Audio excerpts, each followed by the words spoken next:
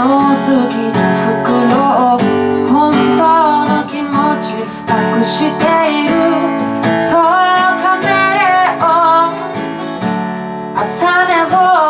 の鶏徹夜明けの赤身のうさぎ